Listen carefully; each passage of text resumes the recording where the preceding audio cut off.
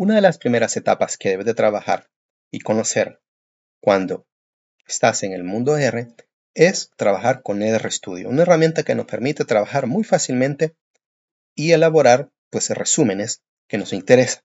En este caso entonces vamos a tener cuatro divisiones por acá, donde podemos observar aquí la consola, donde vamos a ver la salida de, las diferentes ejecuciones que nosotros vamos a tener, nuestros datos en este margen por acá, los diferentes plots y paquetes podemos cargar, la consola que mencioné, y aquí los archivos que vamos a trabajar. Aquí entonces nosotros vamos a desarrollar nuestra parte ¿verdad?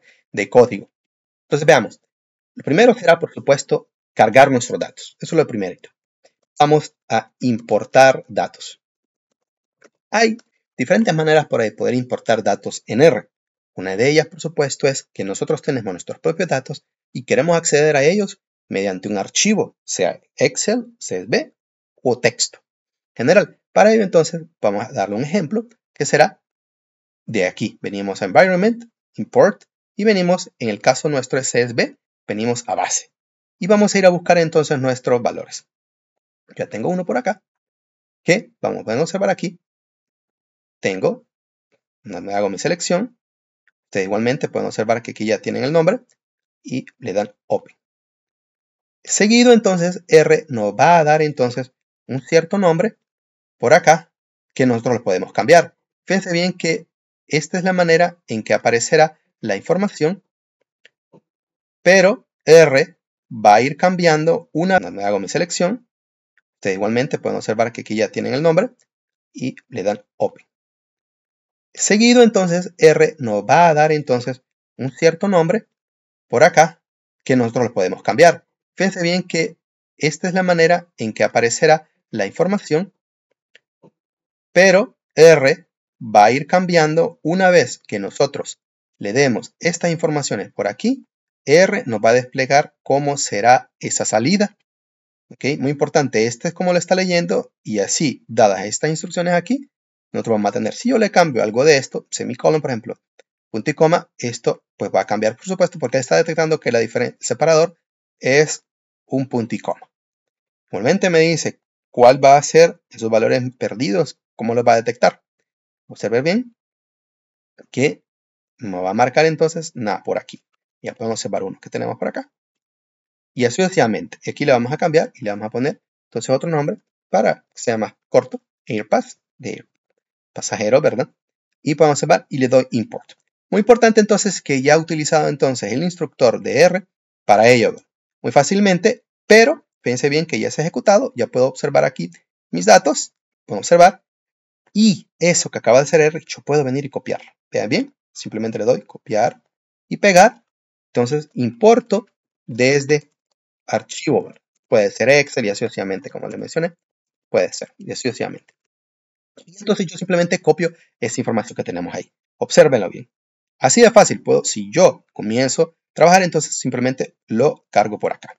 Y luego, ¿qué es lo que puedo observar? Bueno, hay cierta información que nosotros podemos ir viendo ya. Por ejemplo, es la dimensión de mi archivo de datos. Puedo observar que simplemente yo estoy copiando cuál es mi archivo de datos, mi data frame, y ya R me está presentando de manera avanzada, ¿verdad? Cuáles son los valores. Y simplemente lo selecciono y vean bien, entonces me dice 144, ¿qué? 144 observaciones y dos columnas. Algo que yo también ya lo puedo ir viendo por acá. Podemos observar que ya me da una idea clara de esa información que nosotros estamos observando. ¿Qué más puedo ir haciendo yo con R? Bueno, también puedo decirle que me imprima las primeras líneas. AirPass. R entonces aquí a continuación me va a imprimir las primeras seis observaciones. Primeras seis. Primeras seis observaciones. Algo que yo puedo cambiarle, simplemente le digo n igual 10, por ejemplo, y me puede imprimir las primeras 10 observaciones ya puedo ir observando. Pero de manera determinada, aquí es un 6. Pero esto le podemos quitar y listo. ¿Cómo podemos observar? Así es como yo voy descubriendo los datos con que tengo ahora. Ya, si estoy trabajando en, solamente en R como tal, tendré la consola y cada vez me iré imprimiendo esta información y no voy a poder observar esto que tengo en el margen derecho por acá. Cuando trabajo en RStudio, pues me permite hacer eso. Ahora, otra manera de importar datos, importar datos, será desde alguna biblioteca. Pues, es decir, que ya estén grabados en ellos o en base R también. Es decir, nosotros vamos a decir el llamado a una biblioteca, véase bien por ejemplo, y le digo una biblioteca conocida como ggplot, y entonces ustedes van a venir y van a decir ggplot2 y le van a decir así cuál es esa información que ustedes quieren, por ejemplo. ¿Dónde está? Por ejemplo, vean bien que yo tengo accedo a una información que pueden leer que dice dataset, que está ahí. Pueden observarlo. Pueden entonces ustedes hacer lo que acabo de decir yo, ¿verdad? Llamar a la biblioteca, previamente cargándola, ¿verdad? Recuérdenla. Y luego, sea en base R, en este caso yo les muestro data empty cars, vean bien que ya me está mostrando la información sobre este dataset, y les digo empty cars, y me aparece ya aquí algo, vamos a ver aquí, ya precargado, y entonces le digo, bueno, yo quiero ver esa información de empty cars. Le digo empty cars. Y ya entonces, ¿cuál es la dimensión de ese archivo de datos? Ya me aparece 32 observaciones con 11 variables. Entonces, una vez nosotros ya hemos precargado, ya hemos cargado nuestros datos, las siguientes preguntas que, nos, que nosotros debemos de ver, ¿verdad? Es sobre nuestras variables. Muy importante que nosotros conozcamos nuestras variables. Podemos observar entonces, yo tengo mis datos, tengo sea pasajeros, como lo podemos observar aquí, dándole un clic, observe bien que simplemente dándole un clic, y entonces puedo ir observando cada una de mis variables. Y la cuestión es, mi pregunta de interés, eso es el análisis exploratorio. ¿Cuál es lo que yo quiero hacer? Pues yo aquí tengo diferentes variables. Como pueden observar, tengo una variable que se llama millas por galón, cilindraje, displacement, el tamaño del motor, y así sucesivamente. Y entonces, yo necesito conocer esa información. Aquí, por ejemplo, yo puedo observar que tengo diferentes meses y el número de pasajeros en una determinada línea. Si estamos hablando en términos generales de miles, pueda que sea verdad, necesito saber qué es esta información que me está desplegando acá. Si son miles de pasajeros, millones de pasajeros, cientos de pasajeros solamente, o la unidad como tal, ¿verdad? Entonces es muy importante en la de exploratorio, es que conozco las unidades de los datos. Veamos bien, por ejemplo, empty cars. Simplemente, como ya está precargado, ¿verdad? Entonces voy a venir a decir help y le voy a decir empty cars. Y entonces yo ya conozco, conoceré qué es esa información.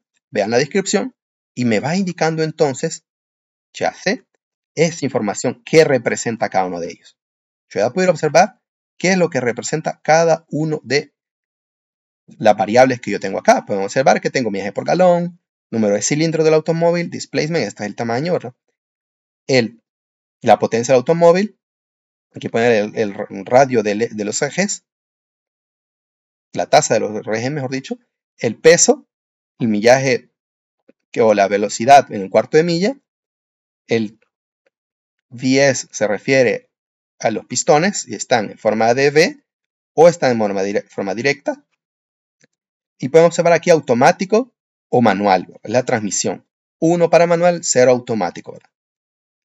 El número de cambios y el número de carburadores. Por ejemplo, yo no voy a, tengo esta tabla, muy importante conocerla, ¿verdad? Para determinar qué significa cada uno de ellos. Una vez entonces yo ya conozco qué significan mis variables y cuáles son las diferentes unidades, yo puedo continuar en esto, en que es el análisis exploratorio, conocer patrones y poder identificar relaciones entre mis variables.